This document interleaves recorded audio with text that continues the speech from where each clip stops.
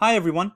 In this video, I am going to give you an example of how bonds are priced. Now, the exact intuition of bond pricing is something that I've covered in a separate video.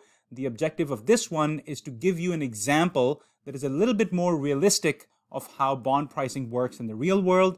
And perhaps more importantly, I want to show you the different ways in which you can calculate the prices of bonds. Specifically, I'm going to show you how you can calculate prices of bonds using Excel. But first, let's consider an example. Let's suppose that there's a bond that has a coupon rate of 8%.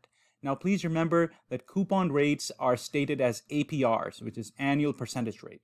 And so if it says that the coupon rate is 8%, what that means is that the coupon payment is going to be 8% of face value, which is typically 1000 in other words, $80, which is going to be paid over the entire year annually.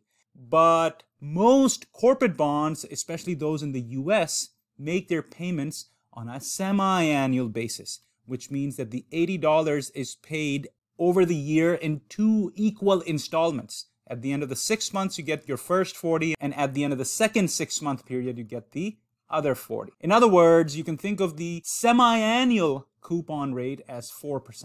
And so, if you were inclined to draw a timeline, then one period here represents six months.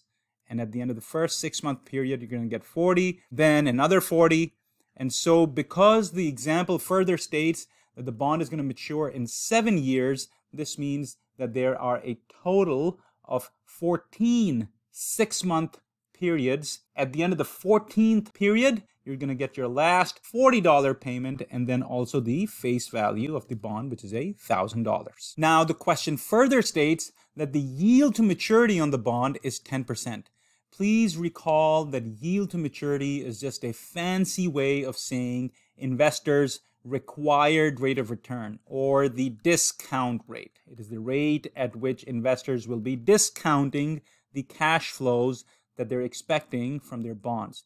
The other thing to remember is that yields, like coupon rates, are stated on an annual basis. So if you're looking at yields every six months, this means that the yield will be 5%, which is 10% divided by 2 for every six months. And so the price of a bond, therefore, is nothing but the discounted value of all these cash flows at the discount rate. In a previous video, I have explained why the bond pricing formula looks like this, where essentially this portion is discounting this $40 annuity at a discount rate of 5%. And then in the end, you're adding the discounted value of this last $1,000 at 5% as well, where of course the number of time periods over which you're discounting this is 14. Now, if you will do this math, you will find that the price of the bond will come out to approximately 901.01. Note that this number is less than the face value of the bond, and this shouldn't surprise you. The rate of return that investors require is more than the coupon rate that the bond is offering, and in these situations, the price of the bond is always going to be less than the face value of the bond. What I want to do now is show you how you can calculate bond prices using Excel. Now, there are different ways in which you can do all these calculations in Excel, and I'm going to show you these ways using the example at hand. So consider in our example, the coupon rate is given as 8%, the face value is $1,000, the time to maturity is seven years. The coupons per year is two because you get a coupon payment every six months, so two times in a year. Now, based on this information, I'm calculating the coupon payments where I'm calculating the coupon payment every period. So notice in this calculation, I'm saying 8% multiplied by 1,000. This is the annual coupon payment. And then I'm dividing that by 2 to get the semi-annual coupon payment. Therefore, this number is 40. And the number of time periods is going to be 7 times 2 which is 14 because there are 14 six month time periods in seven years. And finally, the periodic yield, which is the yield every six months, is again 10% divided by 2, so that's 5%. And so, based on this information, the most basic way in which you can calculate the price of a bond is to actually implement the same formula that I showed you on the slide before, which, as you can see, looks pretty ugly. Nonetheless, this is something that you can do But why would you want to do that? Because Excel actually allows you to do something even better. There is something called equal to present value formula in Excel. And when you do that, it asks you what is the rate at which you're going to be discounting the cash flows, which in our case is 5% because each six months your discount rate is 5%. It then asks you for the number of time periods. The number of time periods in this case is 14 because you have 14 six month time periods. Payment is the constant annuity amount that you will be getting, which in this case is 40. And then Excel asks you if there is a separate future value that you're going to get as well, which in our case is $1,000 because $1,000 is this one lump sum payment that we're going to get at the end of the 14th period. Now, what I have done is included a minus sign here and a minus sign here. This is just how Excel works. If I give all the cash flows a negative sign here, then the number that I will get here will be a positive number, which is, of course, 901.01. This is the price of a bond.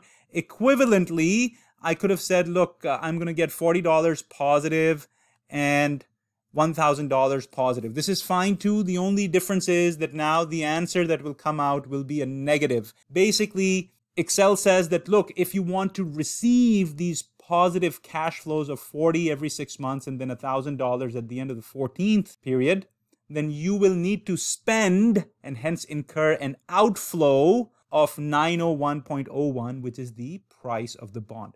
So don't worry about this because at the end of the day, what we really care about is the magnitude of this number and not really the sign. But if you do decide to use negative, then please do a negative here and a negative here. Be consistent. Now, it turns out that there is another way in which you can calculate the price of a bond in Excel as well. Now, if you look at this sheet, you will see that some of the inputs here are very similar to the kind that I just showed you. So, for example, the coupon rate is 8%, the coupons per year are 2, the yield to maturity is also 10%, but there are a few things that are different. First, there's something called a settlement date and a maturity date.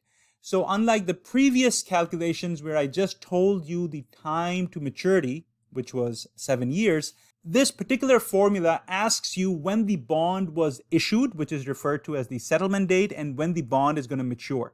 Now, you can make up some hypothetical dates here so that the difference between the two is exactly equal to 7. And that's kind of what I'm doing. I'm saying that let's suppose that the settlement date is January 1st, 2023, and the maturity date is January 1st, 2030. In other words, we'll have a time to maturity of seven years. Now, the other thing that's different in this formula is that the face value is not stated as $1,000. Rather, it's stated as 100. And that is because in this case, bond prices will be expressed as a percentage of face value. And so now the formula that you have in Excel, which helps you calculate the price of a bond, is actually quite conveniently called price, P-R-I-C-E. And when you do that, it'll ask you what is the settlement date. You say, ah, great, I have that. It'll ask you what is the maturity date. You say, ah, I have that. What is the coupon rate? Have that. What is the yield? That's 10%. Great. What is the redemption value? That is the face value of the bond, which is 100 right here. And then finally, the frequency with which coupon payments are being made, which we know is two times for semi-annual. And once you will do this, it will give you a number 90.10. In other words, the price of the bond is 90% of its face value. Now, if it bothers you, all you got to do is say, well, I know that my face value is $1,000. So 90.10, this is 90%. So this is basically divided by 100 first, right? Because it's 0.90 fraction of how much? The actual face value of the bond, which was a thousand, which is what we assumed. And so there you go, 901.01.